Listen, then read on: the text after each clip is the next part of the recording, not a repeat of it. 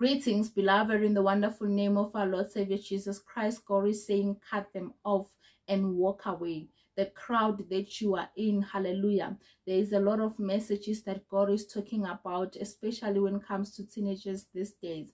God is saying, as a young person, cut them off, hallelujah.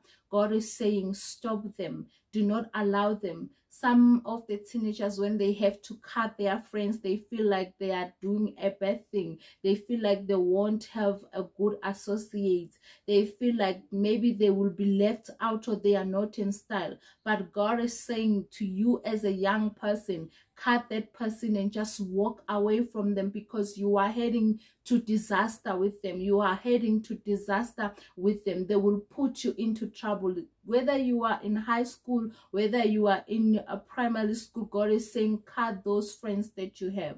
Stay blessed and continue to watch the channel in Jesus' name. Amen.